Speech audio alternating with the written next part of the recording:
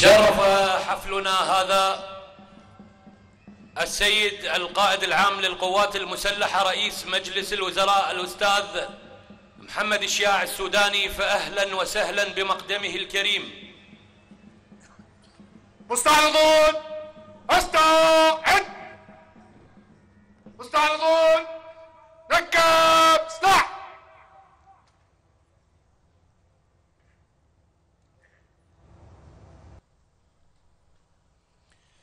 تحن القلوب إلى أوطانها حنين الطيور إلى أوكارها.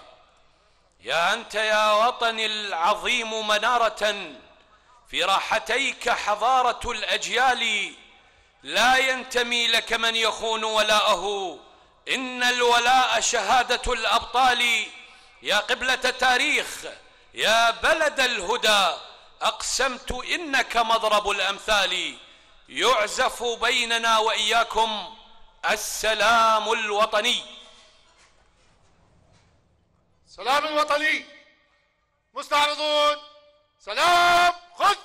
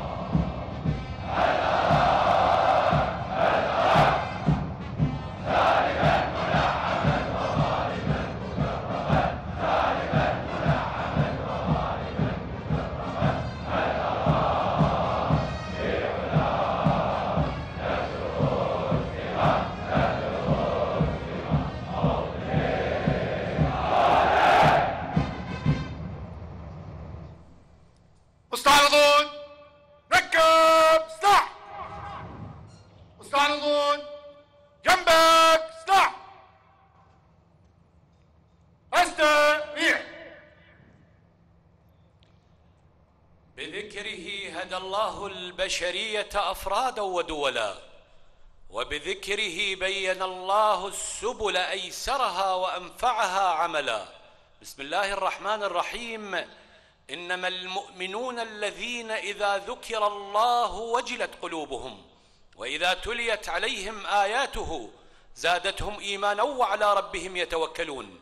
خير ما نبدأ به هذا الاستعراض تلاوة آيات من الذكر الحكيم. يتلوها على مسامعنا القارئ العقيد حيدر يحيى الحجار فليتفضل مشكورا.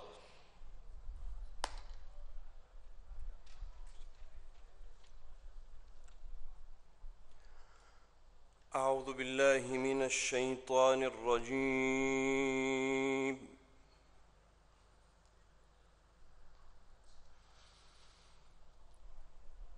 بسم الله الرحمن الرحيم.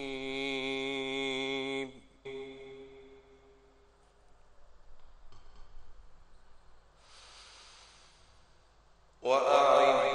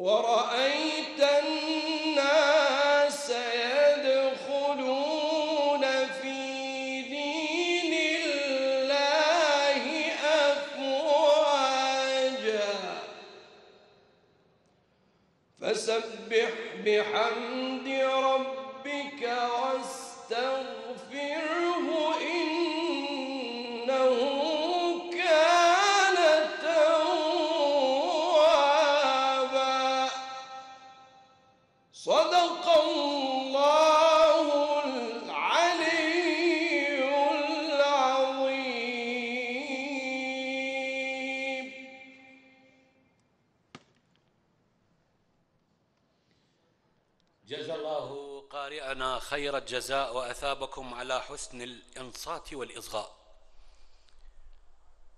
وإلى الشهداء الذين روت دماؤهم الطاهرة تربه هذا الوطن الغالي الحاملين من الأمانة ثقلها والمطلعين من النهى قنديلا والطامسين من الجهالة غيها بل لا مصغرين ولا أصاغر ميلا. لشهداء العراق لنقرأ الفاتحة وقوفا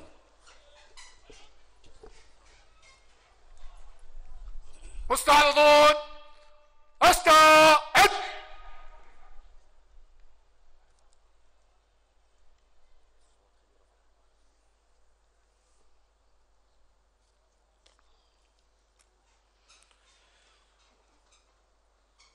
بسم الله خالق الأكوان ملهم المؤمنين بالإيمان والصلاة والسلام على النبي العربي الأمي ورسالته خاتمة الأديان والسلام على العراق سيد الأمم والأوطان.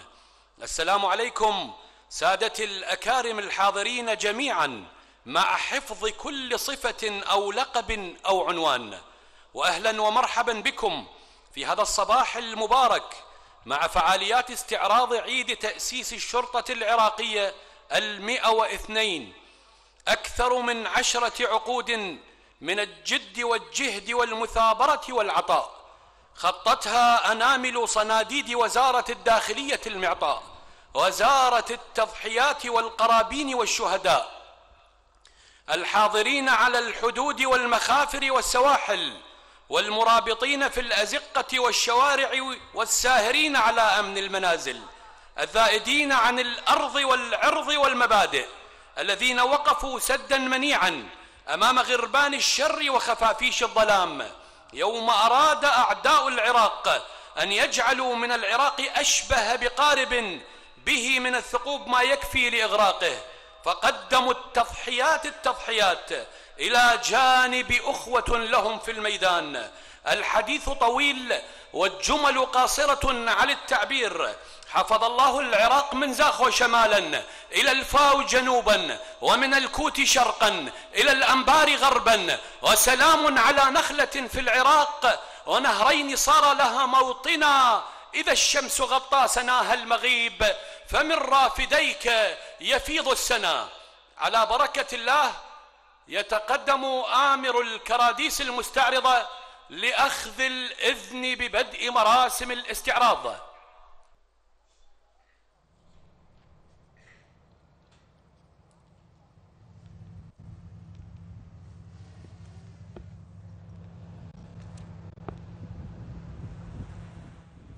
أشرف عادة سر.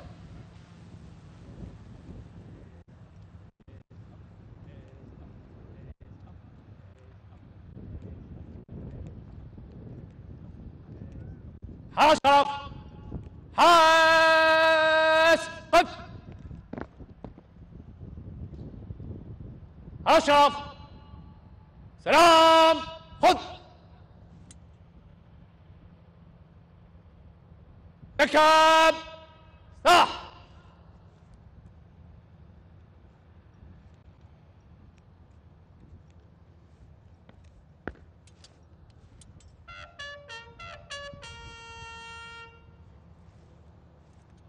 اللواء صلاح خوش محمد آمر القطعات المستعرضة. نستأذنكم. بدء ممارسات الاختصار سيدي.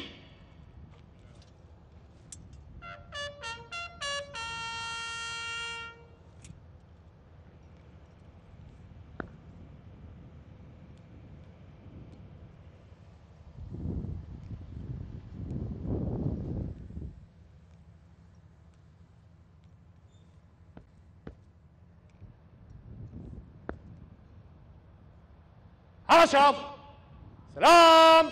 خذ نكتب سلاح حرس اليمين. دور. حرس عادة. سر. أتظن أنك بعدما أحرقتني أرقصت كالشيطان فوق رفاتي أتركتني للذاريات تذرني. كحلا لعين الشمس بالفلوات أتظن أنك قد طمست هويتي ومحوت تاريخي ومعتقداتي. عبثا تحاول لا فناء لثائر أنا كالقيامة ذات يوم آتي. أنا مثل عيسى عائد وبقوة. من كل زاوية ألم شتاتي سأعود بالأديان دينا واحدا خال من الأحقاد والنعرات.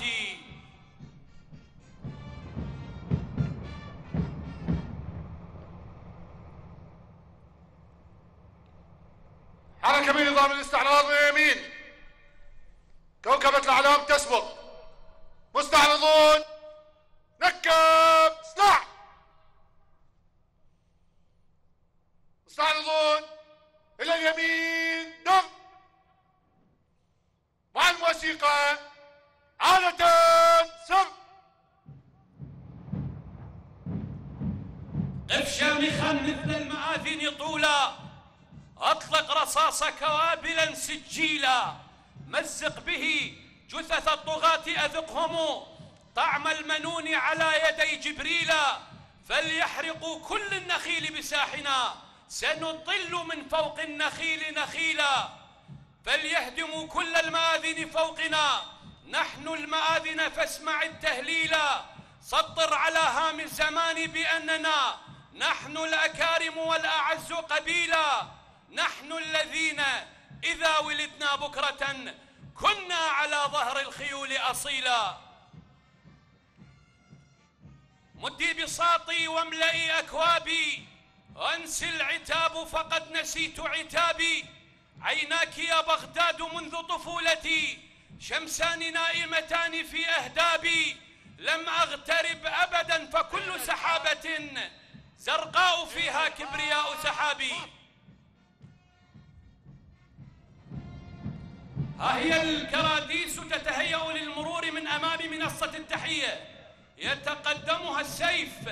حكم سيوفك في رقاب العذل وإذا نزلت بدار ذل فارحلي وإذا بليت بظالم يمينا انظر. وإذا بليت بظالم كن ظالما وإذا لقيت ذوي الجهالة فاجهلي وإذا الجبان نهاك يوم كريهة خوف عليك من ازدحام الجحفل فاعصي مقالته ولا تحفل بها. واقدم إذا حق اللقاء في الأول لنقف جميعا لراية العراق راية المجد والشموخ والألق والكبرياء.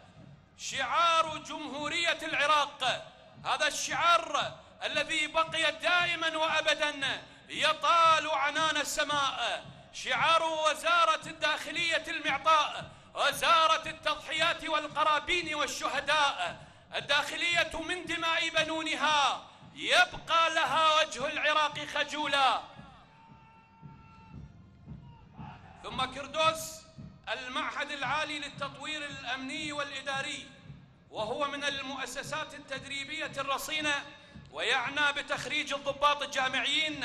تأسس هذا المعهد في العام 1979 كلية الشرطة هذه المؤسسة التدريبية الرصينة المهمة التي تعنى بتخريج ضباط الشرطة من حملة الشهادة الإعدادية. وقد تأسست في العام 1944 إنها تاريخ عريق. معهد إعداد مفوضي الشرطة. وهو مؤسسة تدريبية ترتبط بكلية الشرطة. وتأسست في العام 2008 وتعنى بتخريج المفوضين. كردوس قيادة قوات الشرطة الاتحادية رأس رمح الداخلية. هؤلاء الذين استنفروا دمهم كأنما هم إلى أعراسهم نفروا. قيادة قوات الحدود هم مصابيح العراق الكاشفة عن خفافيش الظلام التي تحاول التسلل إلى داخله لإيذاء شعبه. بارك الله بكم يا رجال الحدود الأشاوس. فرقة الرد السريع. ها هم صناع الملاحم البطولية ضد الإرهاب والجريمة. يسيرون بخطى الأسود. فهم القوة الضاربة للخارجين عن القانون وعصابات الجريمة. كردوس يمثل معهد التدريب والتأهيل. إحدى المؤسسات التابعة إلى وزارة الداخلية. والتي تقدم خدمات في مجال التدريب وتطوير الأساليب العلمية والفنية. كردوس يمثل مديرية أمن الأفراد. هذه المديرية المسؤولة عن العاملين في وزارة الداخلية ومتابعة أداء السلوك الوظيفي. إنهم رجال المديرية العامة لشؤون المخدرات والمؤثرات العقلية. نعهم أنهم الذراع الأقوى لوزارة الداخلية يمشون بخطى ثابتة. هذه المديرية تعمل ليلا ونهارا من أجل سلامة المجتمع من هذه الآفة الخطيرة. كردوس مديرية حماية الشخصيات والتي تتولى مسؤولية تأمين الحماية للشخصيات والحفاظ على أمنهم وسلامتهم.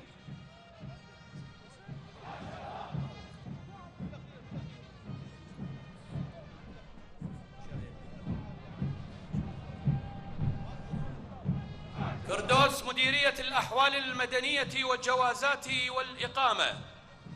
من عمق تأريخها العريق إلى انطلاق حاضرها. ثم كردوس مديرية الاستخبارات ومكافحة الإرهاب. عين الداخلية التي لا تنام والتي أربكت الإرهاب في عقر داره. كردوس مديرية مكافحة الجريمة المنظمة.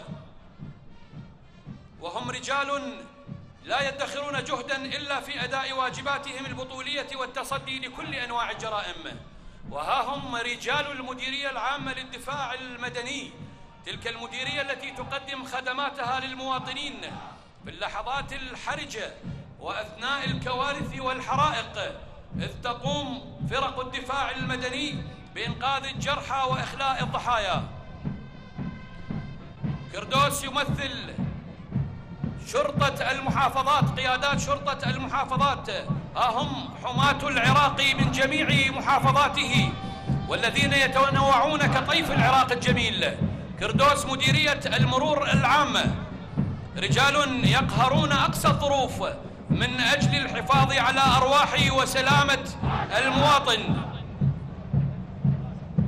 كردوس مديرية شرطة حماية السفارات الدبلوماسية. تعمل هذه القوة الضاربة على حماية السفارات والبعثات الدبلوماسية وهي من أهم المؤسسات الأمنية.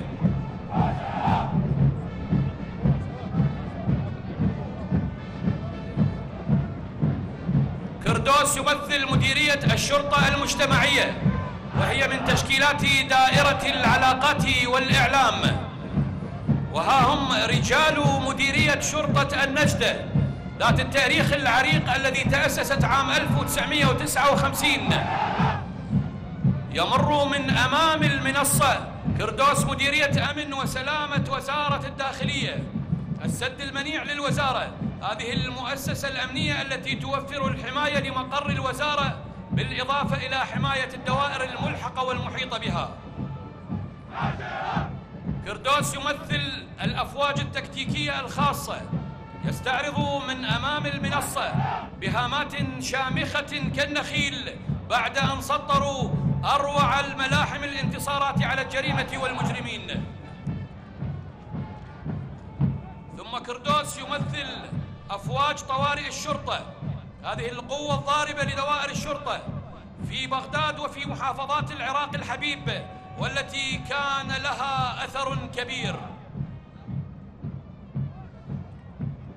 كردوس قيادة قوات حفظ القانون تأسس هذا التشكيل الأمني نهاية العام 2019 وتعمل من أجل حفظ القانون وتطبيق النظام مع مراعاة حقوق الإنسان في تنفيذ الواجبات.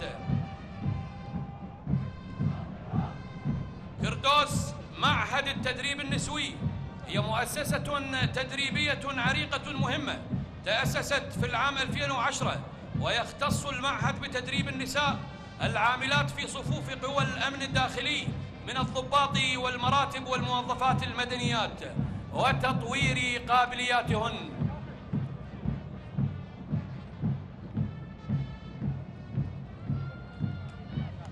إذا الشعب يوما أراد الحياة فلا بد أن يستجيب القدر ولا بد لليل أن ينجلي ولا بد للقيد أن ينكسر. ومن يتهيب صعود الجبال يعش أبد الدهر بين الحفر. الشمس شمسي والعراق عراقي ما غير الدخلاء من أخلاقي. ضغط الزمان على جميع مشاعري فتفجر الإبداع من أعماقي. أجريت في الصخر العقيم جداولا وحملت نور الله في أحداقي أنا منذ فجر الأرض ألبس خوذتي ووصية الفقراء فوق نطاقي وأنا الجميل السومري البابلي كانت يدي قيثارة العشاق لكنما همس الزمان بمسمعي يفنى الأسى وربيع مجدك باقي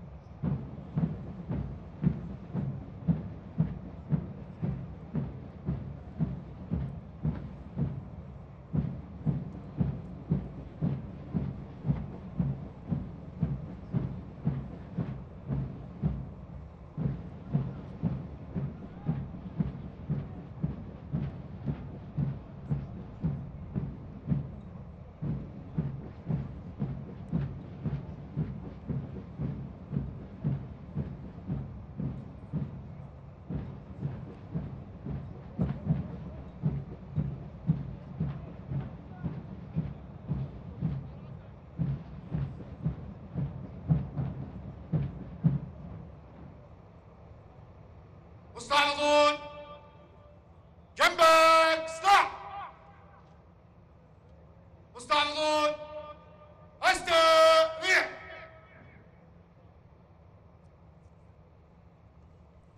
والآن مع كراديس الهرولة. يتقدمها كردوس الصاقع صاعقة تابع إلى أمن وسلامة وزارة الداخلية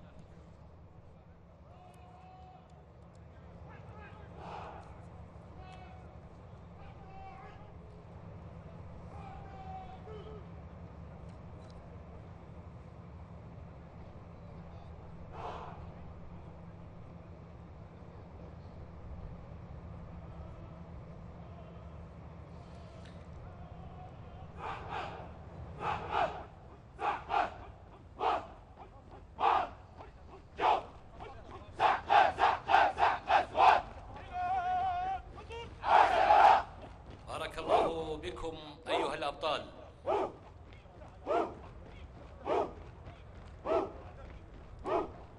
كردوس الصاعقة التابع إلى مديرية تدريب الصنوف في قيادة قوات الشرطة الاتحادية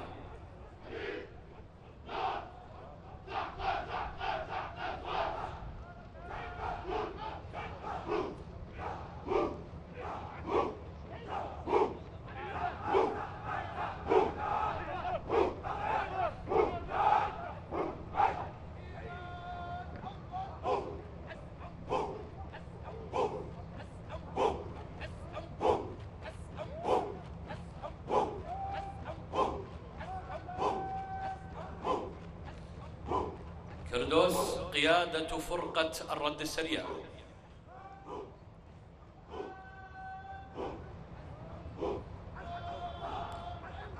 مشاهد لا تحتاج إلى تعليق.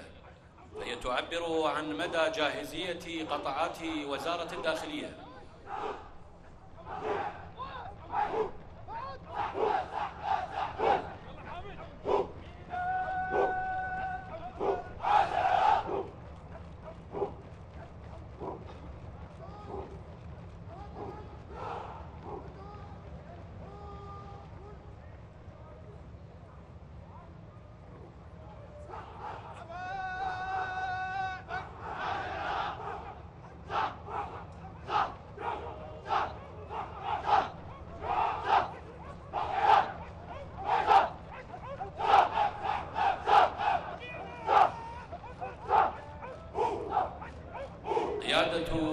ضباط الحدود هذه القيادة المهمة الكبيرة التي تؤمن الحماية ل 3719 كيلو على امتداد خارطة الوطن الحبيب مع ستة دول.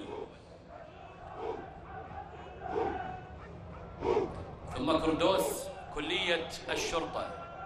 هذا التاريخ الكبير الذي يمتد من العام 1944 والتي خرجت الأجيال الأجيال من الضباط. ولا زالت مستمرة في عطائها. وقدمت ولا زالت تقدم وستقدم الكثير الكثير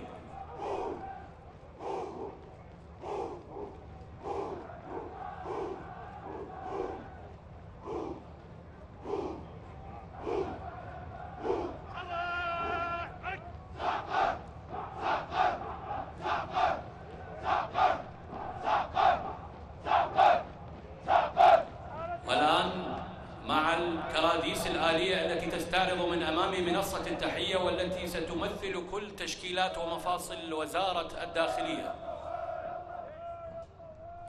يا موطني جئتك عاتبا وعلى جبيني وردة وكتاب إن العراقي الذي اعتنق الهوى فاخضوضرت لغنائه الأعناب. أحرقت من خلفي جميع مراكبي إن الهوى ألا يكون إياب. أنا فوق أجفان العراق مكسر قطع فعمر الموج والأخشاب.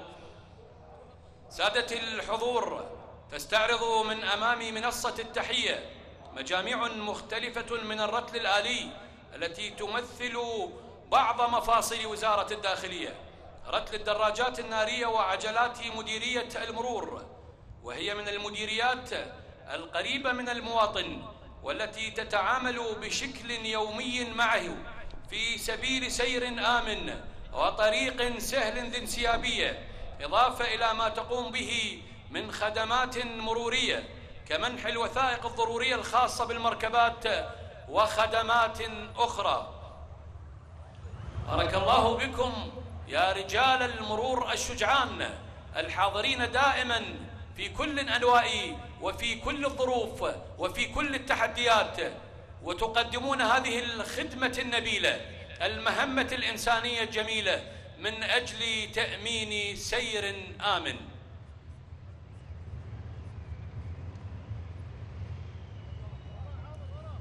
وإلى مديرية وتشكيل مبارك آخر من تشكيلات وزارة الداخلية إنه رتل عجلات مديرية شرطة النجدة والزوارق المحمولة.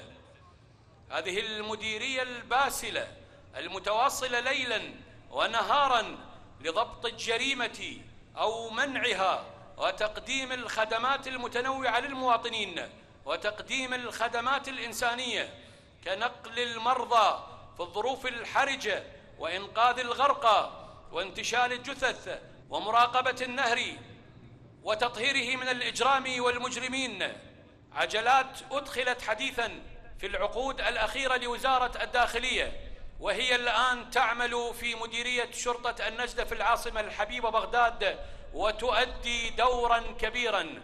بارك الله بكم أيها الأقرب والأسرع إلى المواطن. أيها الحاضرون في المواقف التي تسعفه والحاضرون معه في أمنه. بارك الله بكم يا رجال النجدة الأشاوز ثم ركل آخر ومديرية أخرى ستمر من أمام منصة التحية.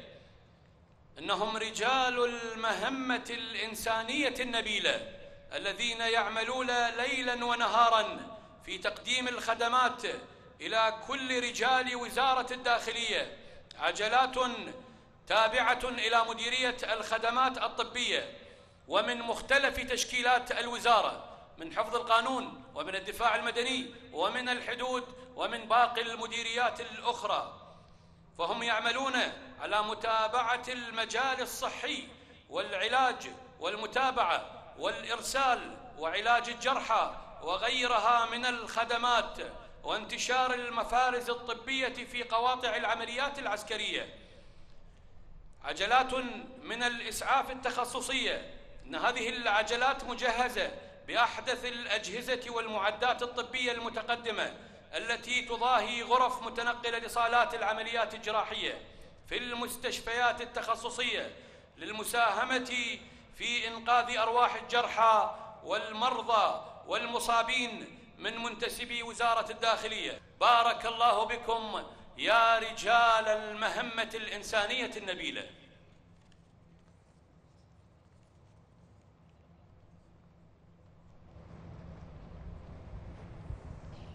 ثم رتل آخر يمثل عجلات مديرية مكافحة المتفجرات. وهنا يظهر جليا مستوى التطور الحاصل في هذه الآليات. التي أسهمت كثيرا في الحد من حوادث التفجيرات في جميع مدن العراق. عجلة مفارز المعالجة والتحقيق بعد الحوادث التفجيرية حيث تحمل هذه العجلة ريبورت المعالجة الذي يتحكم به عن بعد يستخدم لمعالجة العبوات الناسفة والعجلات المفخخة والدور والمباني الملغمة بالمواد المتفجرة ويعالج أيضا الطرود البريدية المستخدمة كمصائد المغفلين. عجلات منظومات اختصاصية تعمل بالأشعة السينية تساعد على فحص العجلات الأخرى. ثم رتل آخر وتشكيل مبارك آخر من تشكيلات وزارة الداخلية. إنهم رجال مديرية شؤون المخدرات والمؤثرات العقلية. وبالنظر لخطورة المهام والواجبات الموكلة إليهم تستخدم هذه العجلات بمناشئ عالمية رصينة مع أجزاء بعض الإضافات لها من تحصين تم تصفيحها لأغراض المداهمات واقتحام أوكار المتاجرين بالمخدرات.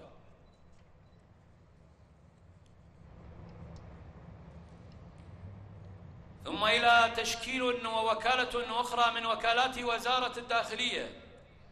وكالة الاستخبارات والتحقيقات الاتحادية خلية الصقور الاستخبارية.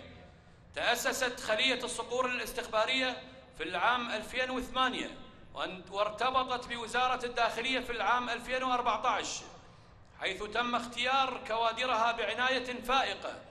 وتدريبها على أعلى المستويات الاستخبارية والفنية والقتالية لمكافحة الإرهاب والجريمة المنظمة ولم يسجل في تأريخها أي إخفاق في المهام التي أوكلت إليها منذ تأسيسها ولغاية الآن. وأن تشكيلات خلية الصقور الاستخبارية تتكون فنية واستخبارية وقتالية ثم رجل آخر يمثل قيادة فرقة الرد السريع.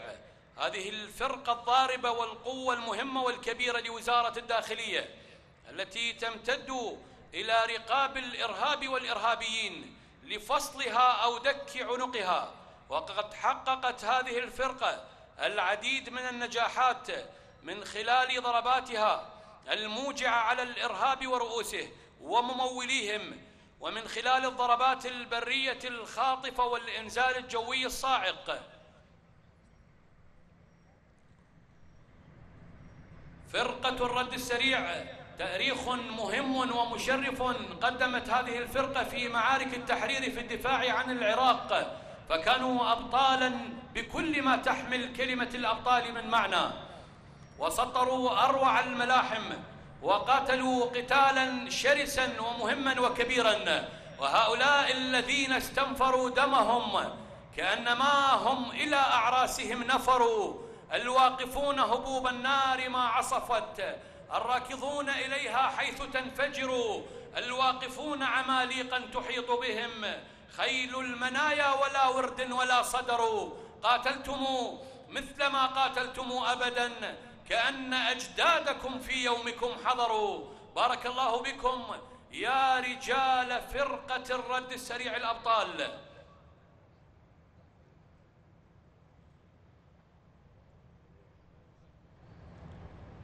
لا زالت آليات فرقة الرد السريع تمر من أمام منصة التحية وهي بأشكال متنوعة منها عجلات ال Land Cruiser pick up التي تحمل المقاتلين من سرية المهام وعجلات أخرى تحمل مقاتلين من سرية القناصين مع بدلات الغش وعجلات نوع سطحية تحمل زوارق مطاطية عليها مقاتلين من سرية الضفادع البشرية. وعجلات أخرى من نوع سلفادور تحمل مقاتلين من كتيبة المدفعية وتسحب خلفها هاون عيار 120 ملم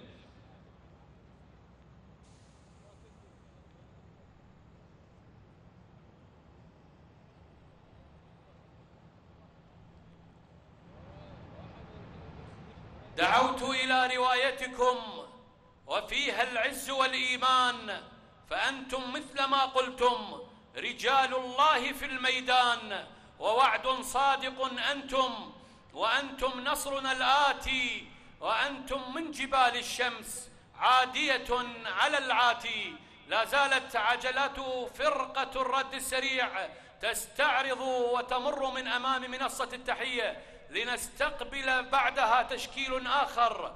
قدم المهام المهام وقدم الواجبات الواجبات.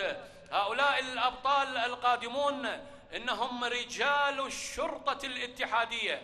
هذه القوة والتشكيل البطل يعد الأهم والأبرز والأقوى والأوسع مهام في تشكيلات وزارة الداخلية. بارك الله بكم يا رجال الشرطة الاتحادية الأبطال. ستة فرق تقاتل في جميع الميادين. تارة تقاتل الإرهاب وتارة تلاحق الجريمة وتارة تفرض الأمن والقانون. إنهم كما يسموهم الجيش الأزرق. قاتلوا وكأنهم يتدربون وتدربوا وكأنهم يقاتلون. لأنهم شجعان والشجعان فقط وحدهم من يغازلون الموت.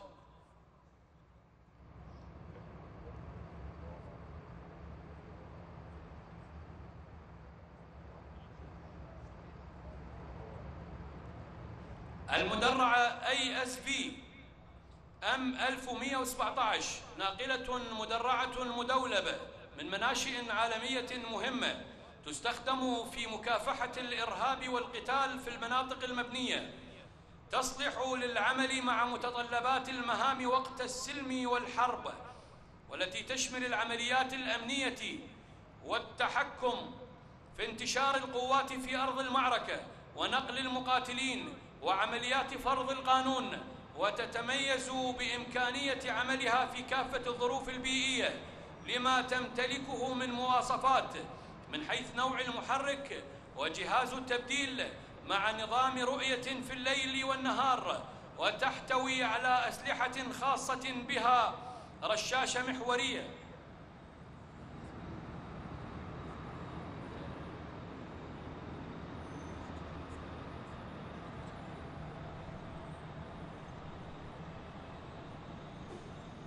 وتحتوي على أسلحة خاصة بها رشاشة محورية.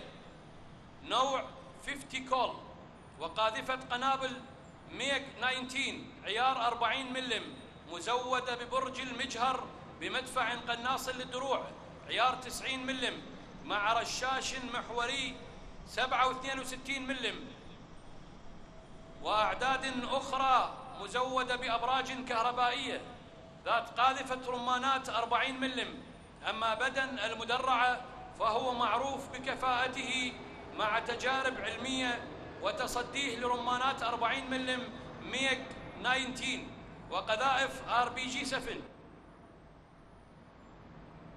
خصوصا بعد تزويدها بدروع شبكية وتم استخدامها في المعارك التي خاضتها قيادة قوات الشرطة الاتحادية ضد عصابات داعش الإرهابي. فيوم دوعشت الشوارع ويوم غادرها علم العراق. هناك عندما لم يستيقظ الصباح إلا على صباح داعش كان رجال الشرطة الاتحادية حاضرون وبقوة وقاتلوا في شتى الميادين وفي مختلف الساحات وقدموا الكثير الكثير وقدموا الشهداء والتضحيات والقرابين.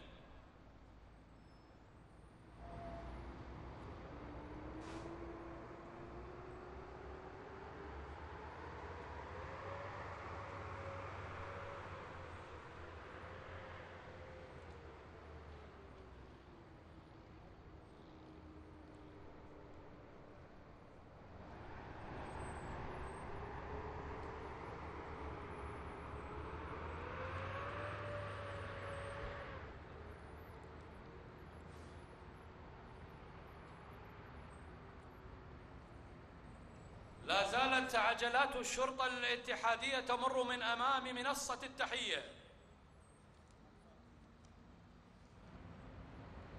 نعم عجلات تحمل المدفع المحمول 122 دي 30 مدفع محمول على عجلة. تم تحويره من قبل كوادر الشرطة الاتحادية من مدفع مسحوب إلى مدفع محمول يتميز بسرعة الحركة والقابلية على المناورة. وردة الفعل السريعة يرمي عدة أنواع من العتاد المهداد والدخان والتنوير والانفلاق الجوي. ثم إلى سلاح وتشكيل آخر ومتميز أيضا من أسلحة الشرطة الاتحادية إنه المدفع 122 دي 30 مسحوب. سلاح متميز في إمكانيته يرمي عدة أنواع من العتاد المهداد الدخان التنوير الانفلاق الجوي عيار 122 ملم روسي الصنع. وعدد الطائفة سبعة أقصى مدى له يصل إلى خمسة عشر كيلو متر وثلاثمائة ويعتبر من أفضل أسلحة مدفعية الميدان ويتميز بخفة الحركة والقدرة على الرمي.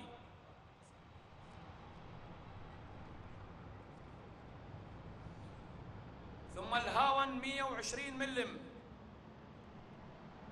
أقصى مدى لهذا الهاون هو 6340 متر يرمي عدة أنواع من العتاد.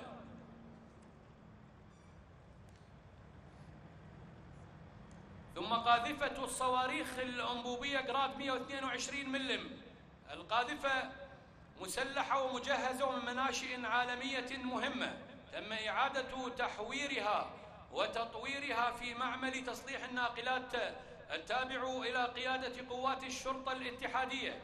تحمل أربعون صاروخا. سرعة الرشقة أربعون صاروخا خلال عشرين ثانية.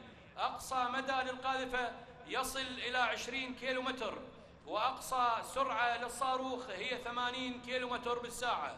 تعمل بنظام تجضية وتعويق ولغم.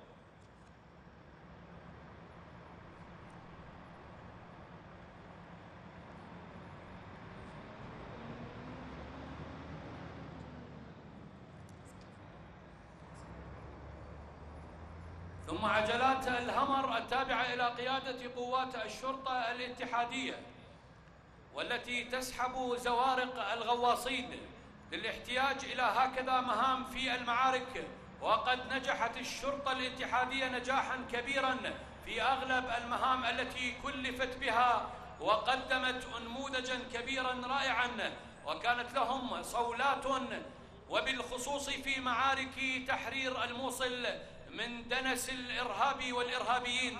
بارك الله بكم. يا رجال الشرطة الاتحادية البواسل.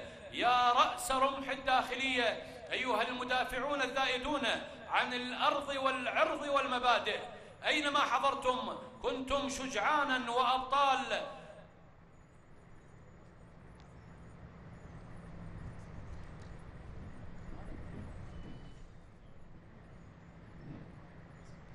عجلات الهمر التي تم تزويدها بقاذفات السبجناين وهي من تدريبات وتطوير قيادة قوات الشرطة الاتحادية.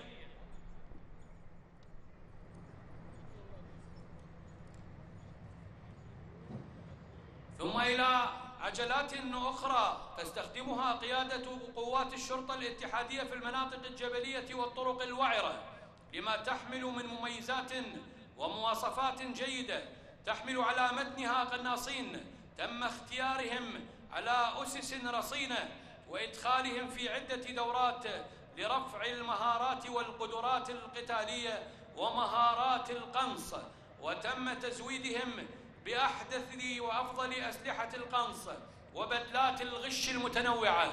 بارك الله بكم يا رجال الشرطة الاتحادية الأبطال.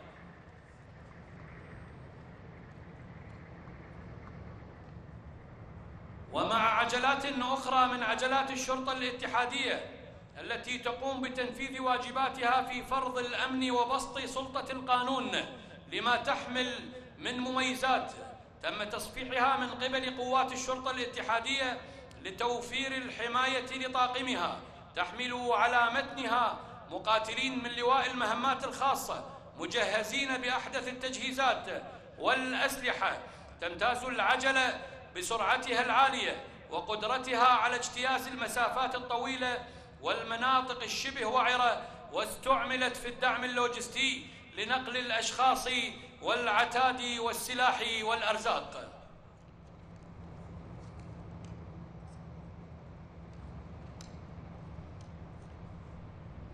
ثم عجلات أخرى تابعة إلى الاتصالات في قوات الشرطة الاتحادية. لها دور مهم وبارز في أرض المعركة حيث تم تجهيزها بالأجهزة والمعدات منظومة الاتصالات هايتيرا وسيبورا وجهاز الهارس كمجس جوي وكاميرات نهارية وحرارية متحركة حيث يصل ارتفاع برجها إلى 12 متراً.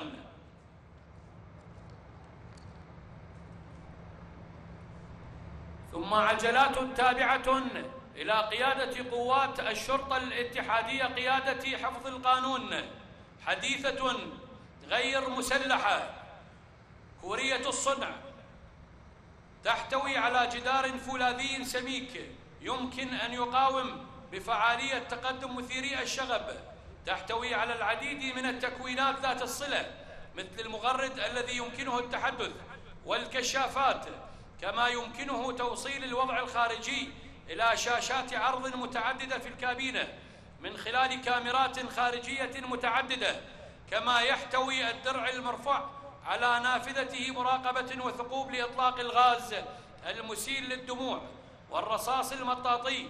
بالإضافة إلى ذلك يدمج الدرع أيضا بخاخات الغاز المسيل للدموع والسلالم ومدافع المياه عالية الضغط. مع بندقية المياه دوره فعال في فض التظاهرات التخريبية التي تستخدم في الحالات الطارئة للأماكن التي يتجمع فيها المتظاهرون.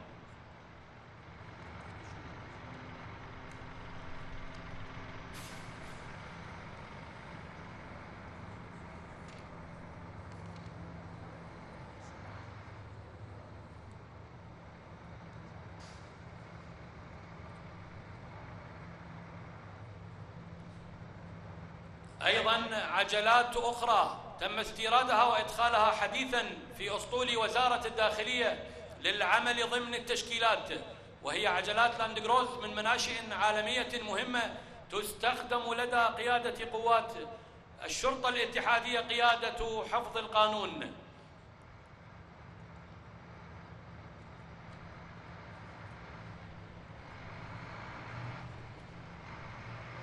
هذا العراق وهذا الكأس والراح إني أحب وبعض الحب ذباح. أنا العراقي لو شرحتم جسدي لسال منه عناقيد وتفاح. ولو فتحتم شراييني بمديتكم سمعتم في دمي أصوات من راحوا زراعة القلب تشفي بعض من عشقوا وما لقلبي إذا أحببت جراح. طاحونة البن جزء من طفولتنا. فكيف أنسى وعطر الهال فواح؟ هنا جذوري هنا قلبي هنا لغتي فكيف أوضح؟ هل في العشق إيضاح؟ تحية حب إليك يا عراق وقبلة شوق إليك يا عراق. سيبقى سيبقى سيبقى العراق ترابا طهورا وماء فرات وشعبا عصيا على العاديات. سيبقى العراق موحدا وواحدا وشعبه الأبي يقتحم المدى. لا بارك الله الذين تجمعوا أن يجعلوك ممزقا وممددا.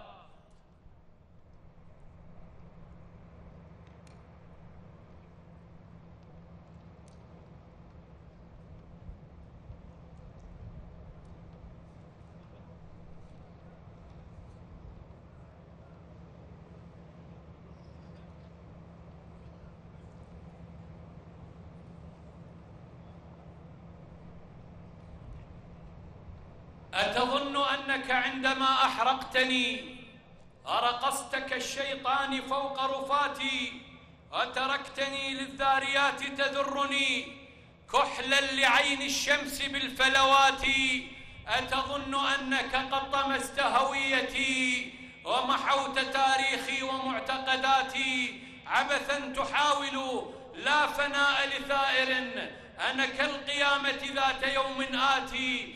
أنا مثل عيسى عائد وبقوة من كل زاوية ألم شتاتي. سأعود بالقرآن والتوراة والإنجيل والتسبيح والصلوات. سأعود بالأديان دينا واحدا خال من الأحقاد والنعرات. ما زالت عجلات قيادة قوات الشرطة الاتحادية. قيادة حفظ القانون تمر من أمام منصة التحية.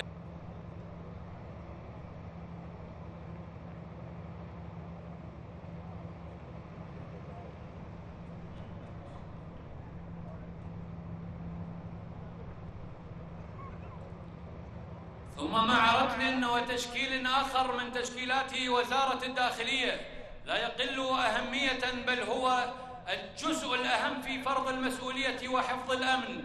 إنهم رجال الحدود الذين يناصفوننا في حفظ الأمن. فحفظ أمن الحدود هو أهمية رئيسية في حفظ الأمن الداخلي. هذه القوة التي ظهرت نواتها عام 1934 وتشكلت بوصفها الحالي عام 1970 والتي تمسك حدود العراق مع ستة دول جوار بطول 3719 وتتألف من مقر قيادة من مقر قيادة قوات الحدود وستة قيادات مناطق حدودية. ترتبط بها مستويات مديريات شرطة جمارك ولواء مغاوير ولواء حدود السواحل. وتعتبر خط الدفاع الأول عن الوطن وسوره المنيع المرابطين على ثغور العراق الأشم في الجبال والأهوار وفي الصحراء والأنهار. لقد حققت قوات الحدود عام 2023 منجزات كبيرة ومتميزة لم تكن موجودة في تاريخ حدود الدولة العراقية. من خلال ضبط حدودنا الدولية والحد بنسبة كبيرة من عمليات التسلل والتهريب الذي انعكس إيجابا على استقرار الوضع الأمني في بلدنا العزيز حيث أجرت سلسلة تحصينات فعالة منها الموانع المنفاخية وأسلاك ال BRC وأفضلها الجدار الكونكريتي على الحدود السورية واستخدمت فيها المراقبة الإلكترونية بالكاميرات الحرارية والطائرات المسيرة. كذلك تم تشكيل وحدات جديدة لتعزيز الاستعداد القتالي بالإضافة لدورهم الكبير من خلال شرطة الجمارك في الحد من التهريب في المنافذ الحدودية.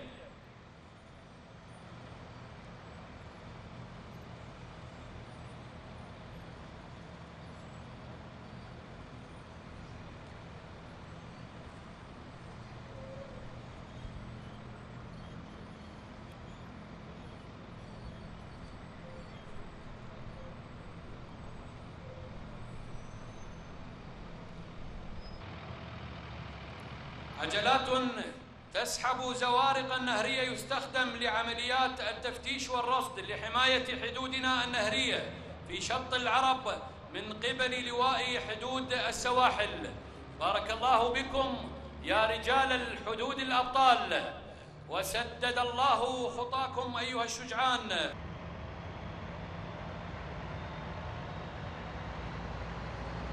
فقد تمكنت قيادة قوات الحدود خلال العام 2023 من إلقاء القبض على 4528 متسللا ومهربا.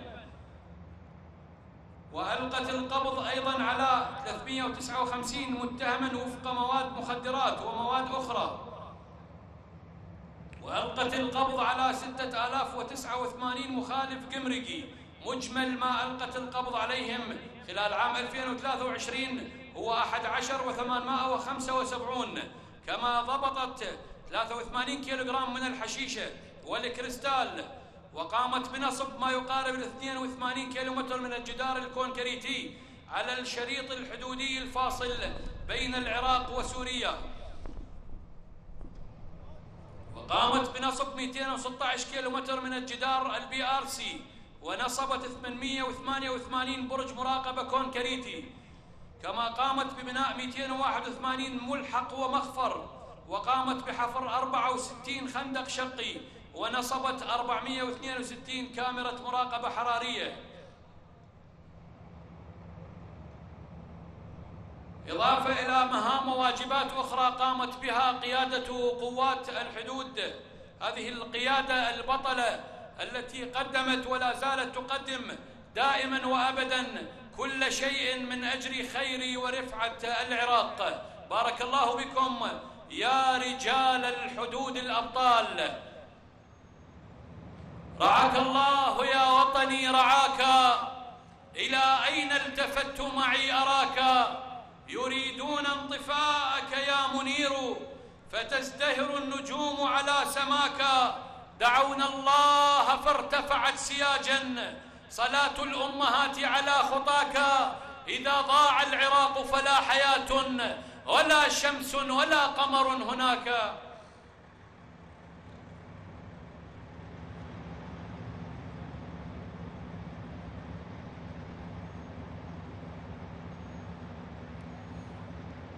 ثم رتل آخر يمثل المديرية العامة لشرطة الطاقة وهي إحدى توابع وكالة الوزارة لشؤون الأمن الاتحادي.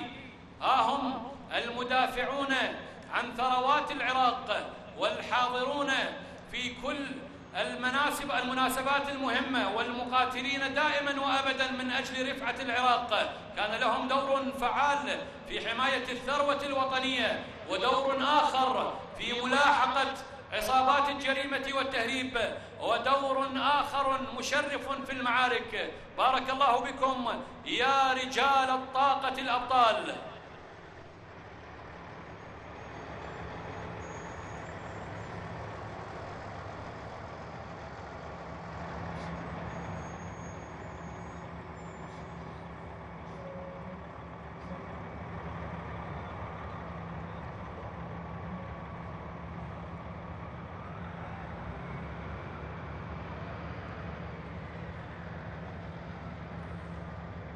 ثم تشكيل آخر من تشكيلات وزارة الداخلية وهو الذي سيختتم الرتل الآلي.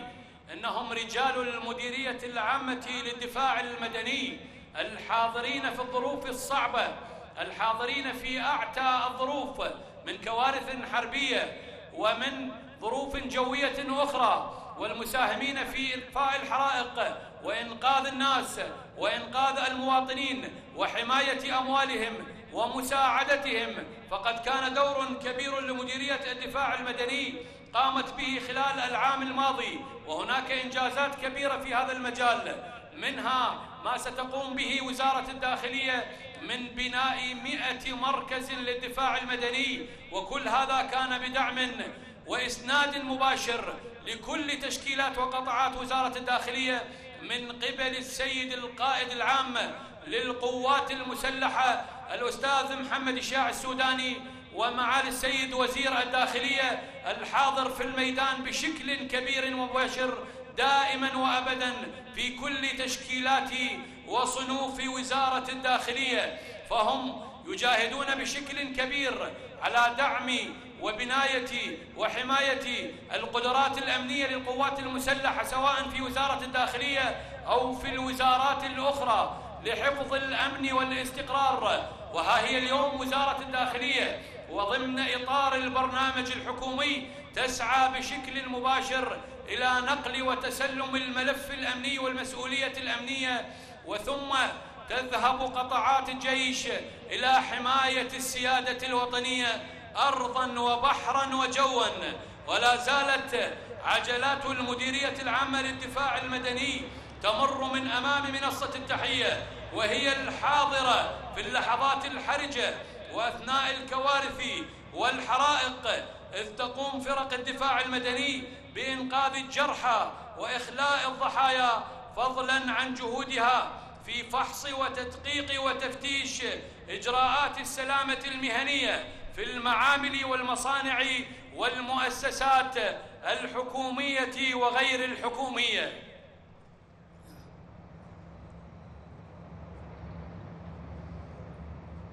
يا دجلة الخير يا أم البساتين حييت سفحك عن بعد فحييني حييت سفحك ظمآنا ألوذ به لوذ الحمائم بين الماء والطين وأنت يا قاربا تلوي الرياح به لي النسائم أطراف الأفانين. يا دجلة الخير والدنيا مفارقة وأي شر بخير غير مقرون وأي شر بخير لا يلطخه. طهر الملائك من رجس الشياطين. مزمار داود أقوى من نبوءته. فحوا وأبلغ منها في التلاحين. ومن الرتل الآلي إلى فعاليات تقوم بها عدة تشكيلات من تشكيلات وزارة الداخلية. الفعالية الأولى لمديرية إدارة وتدريب الكلاب البوليسية الكيناين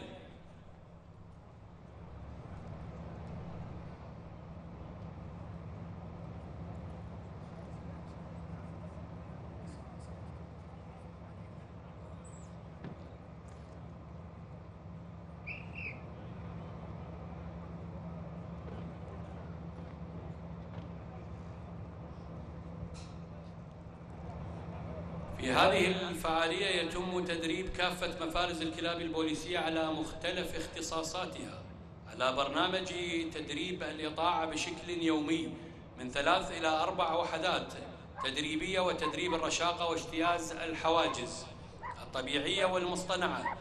لتكون هذه الكلاب جاهزة لتنفيذ الواجبات بنشاط ودقة عالية في أي وقت وعلى مدار 24 ساعة. هنا ستقوم مفرزة أمنية بتفتيش عجلة وسيكون هناك شك حاصل وبالتالي سيتم إنزال الراكبين وتفتيش الحقائب التي بحيازتهم.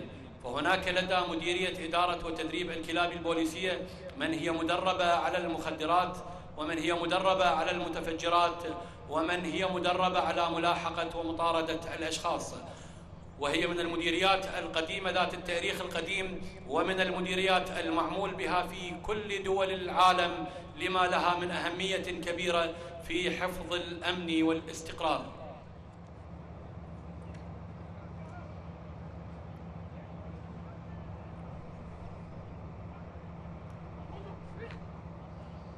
هنا سيقوم الكيناين بفحص الحقائب.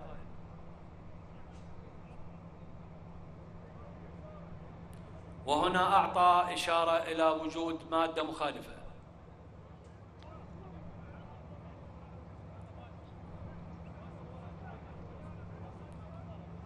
وهي مادة الكريستال المخدرة.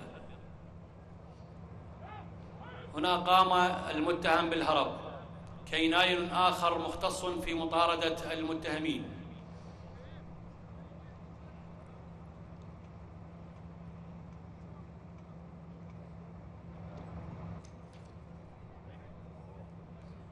تم إلقاء القبض عليه وسيحال إلى حيث يأخذ جزاءه العادل. شكرا لمديرية إدارة وتدريب الكلاب البوليسية.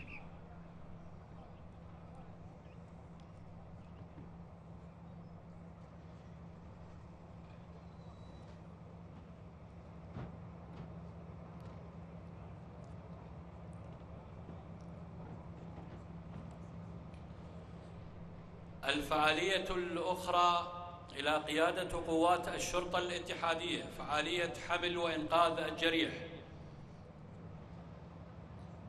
أنوه أن هذه الفعالية سيستخدم فيها العتاد الخلب والرمانات الصوتية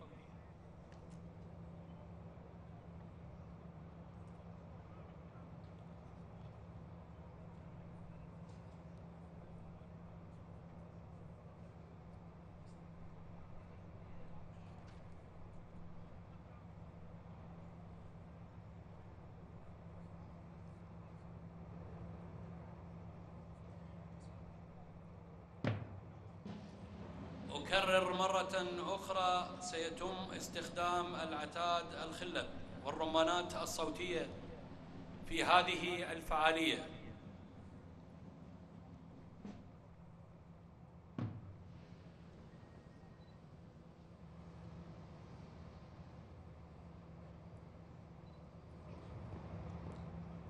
هذه الفعالية تنفذ من قبل مدرسة تدريب الصنوف في قيادة قوات الشرطة الاتحادية. تهدف هذه الفعالية لتطوير ورفع قابلية التدريب البدني للمقاتل والتركيز على التنمية العضلية والتحمل والسرعة والرشاقة والمرونة. والمهارات الفنية والعسكرية باجتياز الموانع الطبيعية والاصطناعية.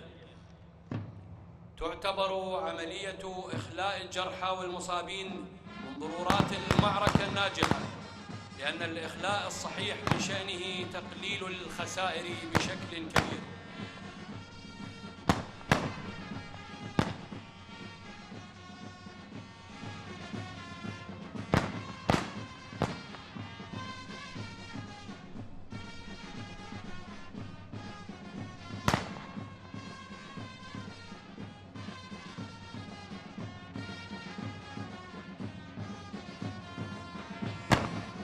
بد أن نستذكر اليوم جزءا من هذه الملاحم والبطولات التي حققتها قيادة قوات الشرطة الاتحادية في معارك التحرير.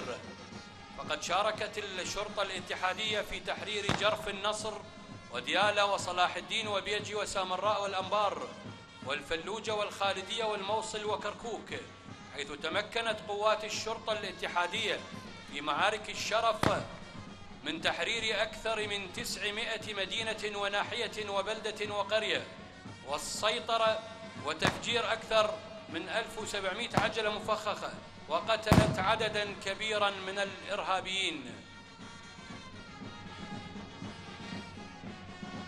كان سيف الشرطة الاتحادية وفرقة الرد السريع وباقي التشكيلات الأخرى من أشد السيوف قسوة على أعداء العراق. قاتلوا بشرف وببسالة قاتلوا أكررها ولمرة أخرى وكأنهم يتدربون وتدربوا وكأنهم يقاتلون.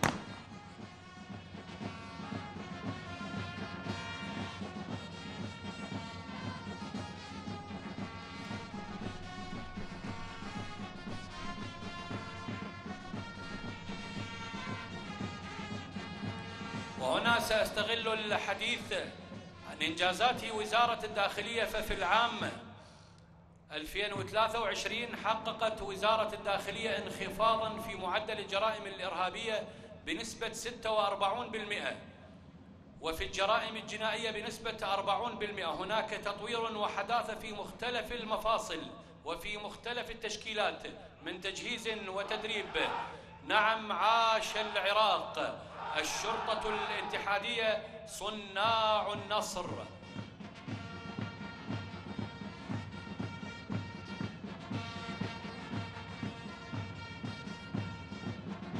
ستبقون سورا منيعا من أجل النصر والانتصارات. وعاشت بغداد. بغداد ساء بك الهوى أمطابا سيظل وجهك رائعا جذابا. قسمات شيخ بالجلال متوج والسمات غانية تفيض شبابا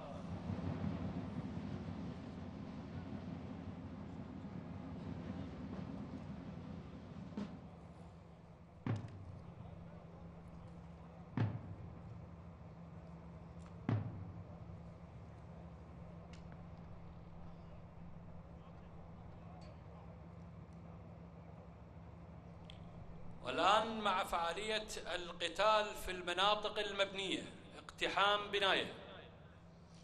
أكرر في هذه الفعالية أيضا تستخدم الرمانات الصوتية بشكل عالي والعتاد الخلد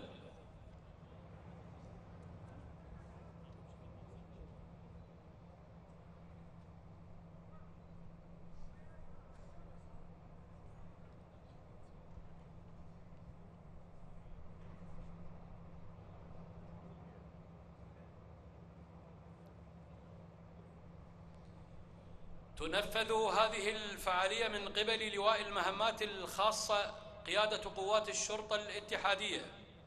سيتم من خلال هذه الفعالية اقتحام بناية يتواجد في داخلها عناصر إرهابية ثم تأتي وتقوم قوة من لواء المهمات الخاصة باقتحام المبنى باستخدام وسائل الاقتحام الحديثة وبالاعتماد على اللياقة البدنية العالية والدقة في استخدام الأسلحة النارية مع نشر القناصين حول البناية.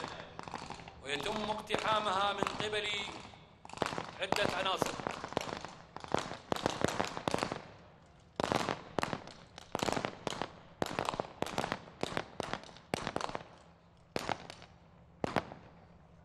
اليوم قدرات وقابليات الشرطة الاتحادية أصبحت كبيرة جدا وعالية.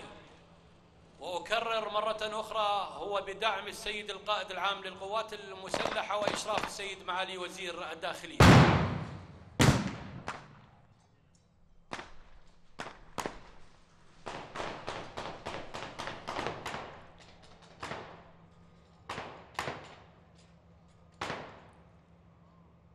لقد ساهمت الشرطة الاتحادية في معارك التحرير وكانت معارك شرسة.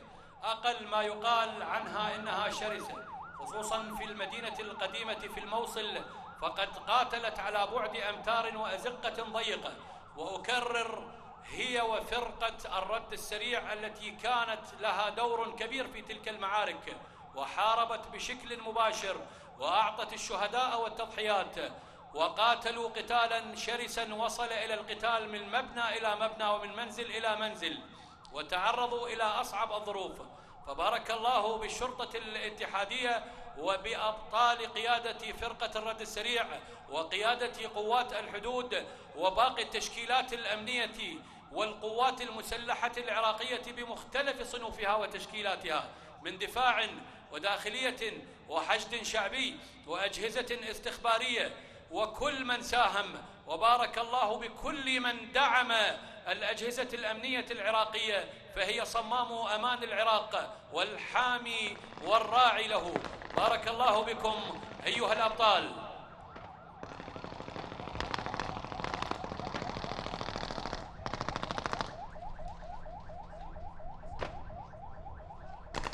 أيضا هناك فعالية أخرى مستمرة للشرطة الاتحادية هي تحرير مختطف. وهنا نشاهد قابليات رجال الشرطة الاتحادية. وهم مدربون وشرسون جدا.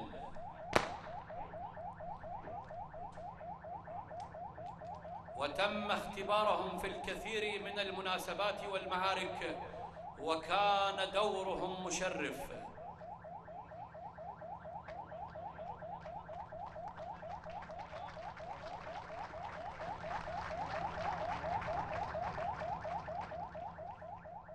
أتمنى أن نصفق لهم جميعا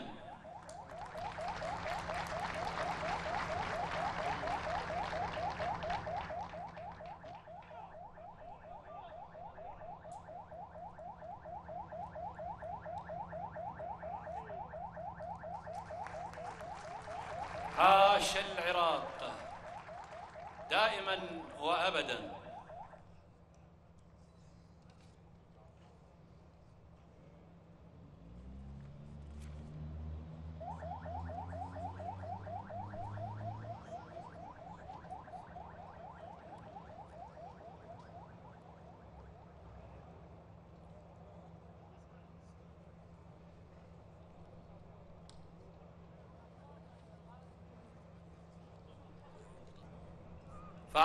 الرد السريع. قيادة فرقة الرد السريع.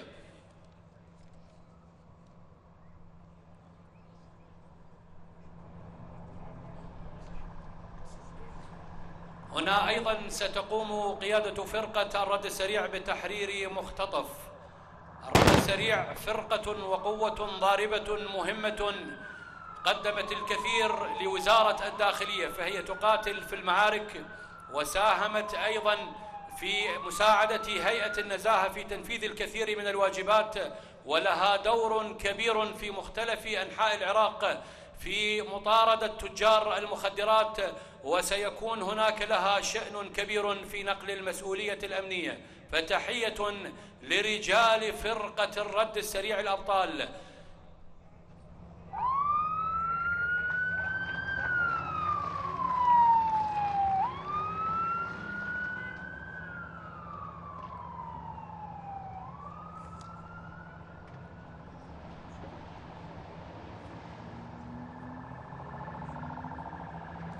والآن مع فعالية فض الشغب قيادة قوات حفظ القانون. قيادة قوات الشرطة الاتحادية قيادة حفظ القانون. تنفذ هذه الفعالية من قبل مدرسة التدريب الخاص التابعة إلى قيادة قوات الشرطة الاتحادية.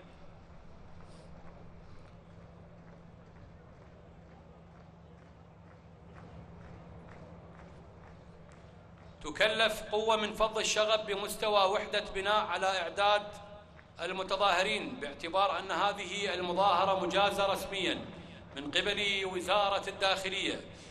كونها الجهة الوحيدة المخولة دستوريا بمنح رخصة التظاهرات. هنا ستعتمد قوة فض الشغب على ردة الفعل ولا تقوم بتصعيد إجراءاتها ما لم تحاول المظاهرة ما لم تحول المظاهرة من سلمية إلى شغب فهي تعمل وفق قياسات اعتيادية وطبيعية تتعامل مع الموقف بحجمه. هنا بدأت تنتشر وحدات قيادة حفظ القانون التابعة إلى قيادة قوات الشرطة الاتحادية. تم تجهيزهم بأحدث الأجهزة والمعدات والعجلات. وأصبحوا مهيئين لتنفيذ أغلب وأكثر الواجبات وفي أي مكان من ربوع هذا الوطن. بارك الله بكم يا قيادة قوات حفظ القانون.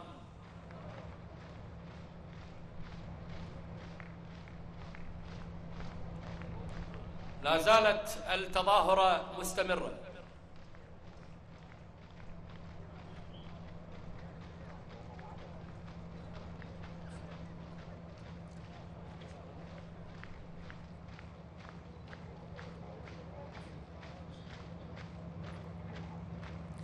ونوه سيستخدم أيضا آه، القنابل الصوتية في هذه الفعالية.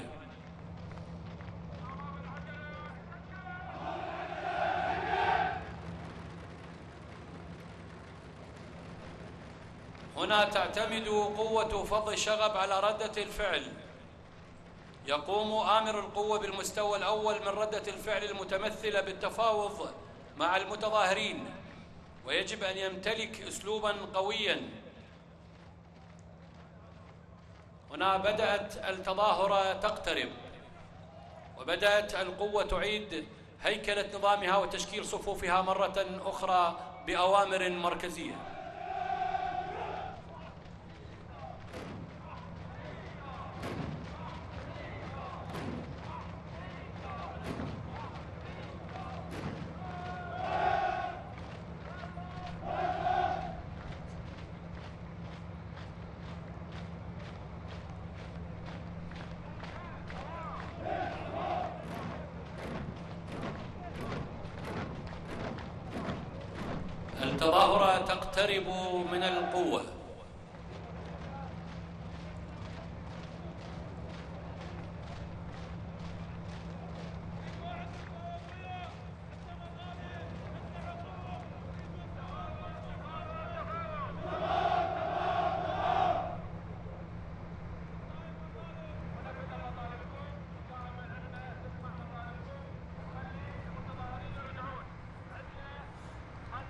هنا بدأ آمر القوة بالتفاوض وإصدار توجيهات إلى المتظاهرين.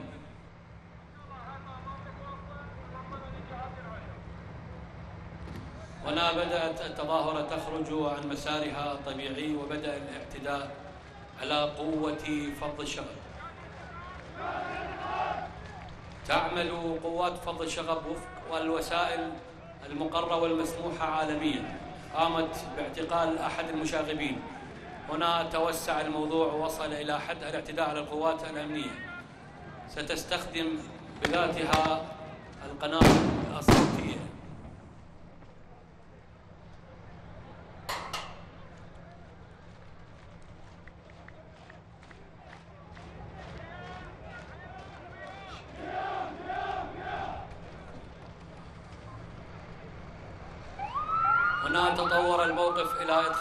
الخلاق لتقوم بواجباتها. وبإسناد هنا استخدمت خراطيم المياه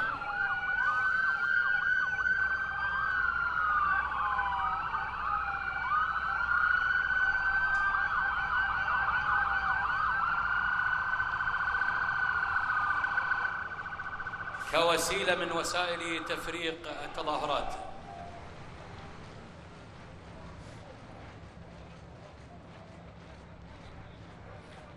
الآن بدأت القوة باتخاذ الوضع الدفاعي السلحفات وبالاتجاه نحو المتظاهرين.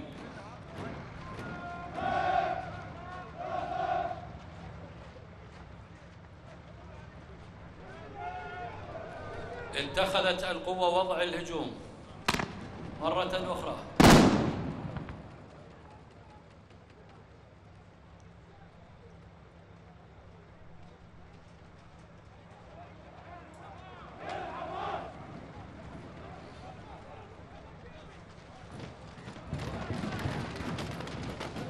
خرجت الأمور تماما عن سلميتها.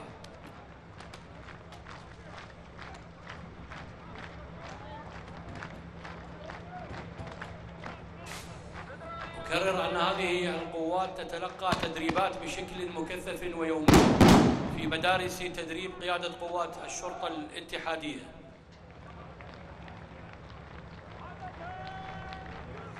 وهنا أعطى آمر القوة أمرا بالتوجه بالهجوم أو باتخاذ وضع الهجوم لاعتقال المشاغبين.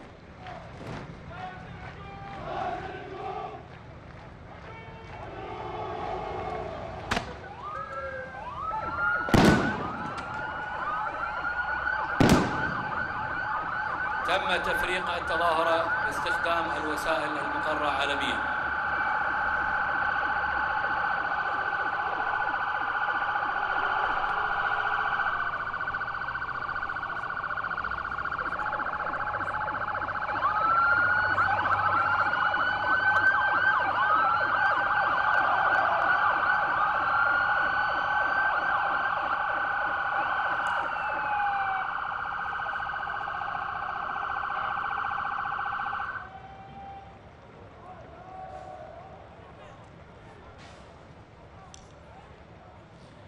شكرا لقيادة قوات الشرطة الاتحادية قيادة حفظ القانون بكل صنوفها وتشكيلاتها. شكرا لكل القطاعات في وزارة الداخلية. وألف مبارك مرة أخرى في عيدكم هذا آه، المئة واثنين.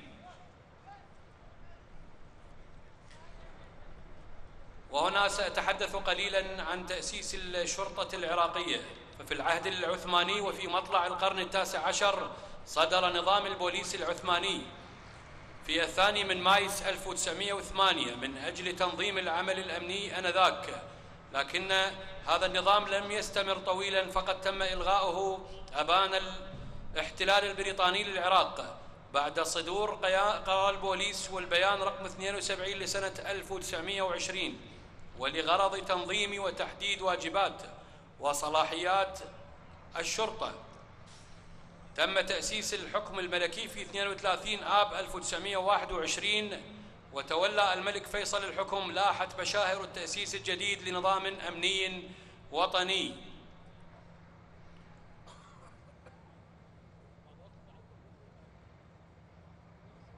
وفي عام 1922 21 تم تأسيس الشرطة. والآن مع فعالية لوح البنادق من أداء طلبة كلية الشرطة.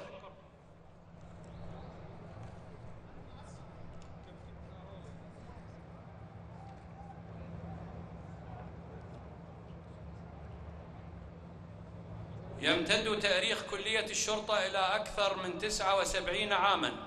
تأسست هذه المؤسسة العريقة عام 1944 وتقوم بتنفيذ سياسات وزارة الداخلية التعليمية والتدريبية بما يحقق أهدافها الواردة في قانون كلية الشرطة رقم 37 لسنة 2000 وتتولى مهمة إعداد وتأهيل خريجي الدراسة الإعدادية من المدنيين عسكريا وبدنيا وعلميا وأمنيا لمدة ثلاث سنوات ليكونوا ضباطا في قوى الأمن الداخلي لحماية الأمن والقانون.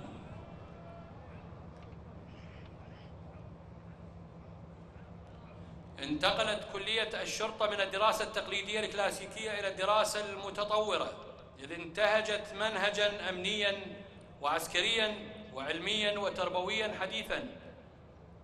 وكان للسيد وزير الداخلية الأثر الواضح بالانتقال النوعية في مهام كلية الشرطة فأصبحت اليوم ذات طبيعة ونهج حضاري يعتمد على التطور العلمي والتكنولوجي في الكشف عن الجريمة حيث تعتمد الكلية ومنذ التحاق الطالب في أول يوم من إعداده نفسيا وبدنيا وتأهيله وفق منهاج علمي حديث وعسكري.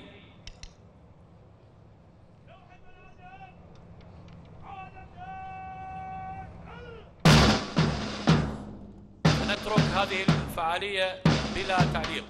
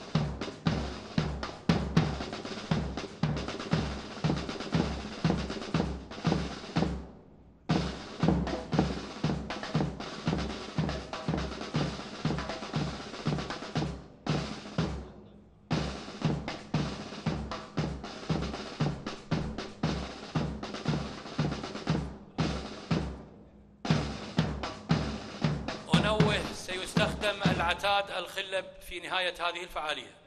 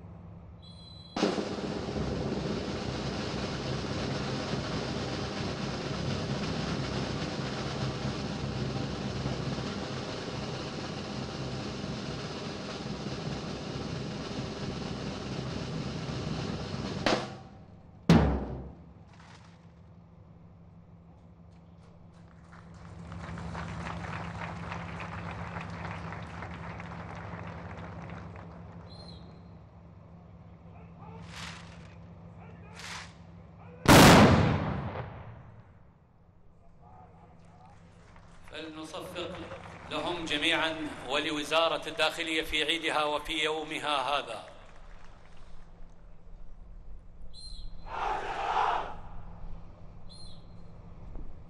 تحية لكم يا أبطال كلية الشرطة طلاب الدورة 69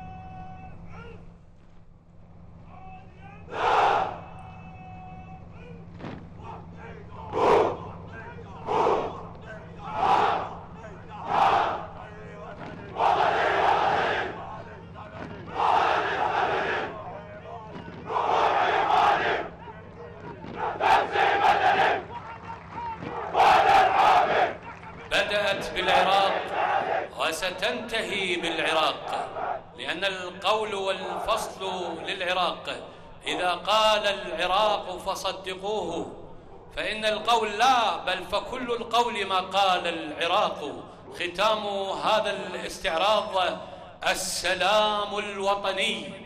مستعرضون أستعد. مستعرضون ركب سلاح السلام الوطني سلام خذ